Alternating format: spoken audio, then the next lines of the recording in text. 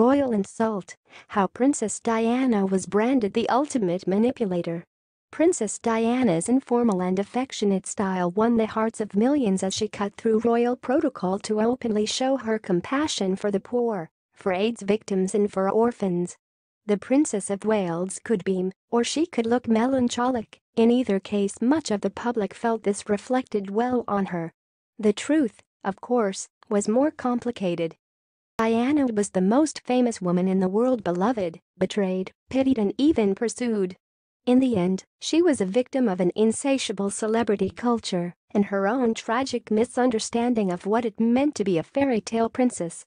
From the moment reporters realized the shy teenager was dating Prince Charles, the public and media could not get enough of her. People worldwide loved her for her beauty, her charisma and the affection she gave which had never been seen from other royals.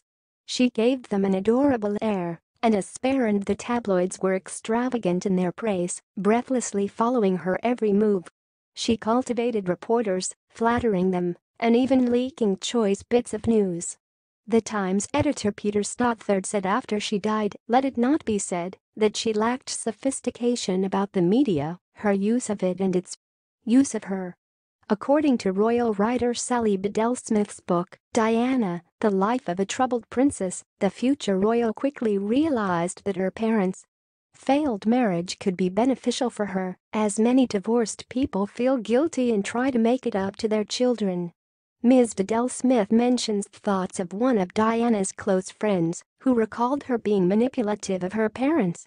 Children are usually able to sense when their parents cannot say no and apparently, young Diana also quickly picked up on that. Ms. Bedell Smith writes that both John and Frances wanted Diana's attention and didn't hesitate to do whatever would get them the desired affection of their daughter.